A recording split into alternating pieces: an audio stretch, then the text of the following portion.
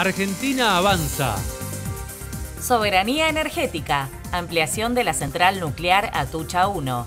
Las nuevas instalaciones permitirán el almacenamiento de elementos combustibles usados en el reactor. La inversión fue de 6 mil millones de pesos y generó más de 200 puestos de trabajo. Vivienda. Nuevo desarrollo urbanístico en Castelli. El Gobierno Nacional construirá 208 departamentos del Plan Procrear 2 en la localidad bonaerense.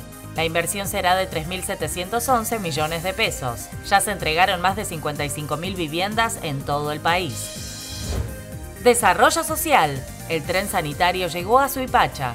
Hasta el 3 de septiembre, el tren Ramón Carrillo del Ministerio de Desarrollo Social permanecerá en la localidad bonaerense. Ofrece asistencia social y atención primaria de salud. Argentina avanza.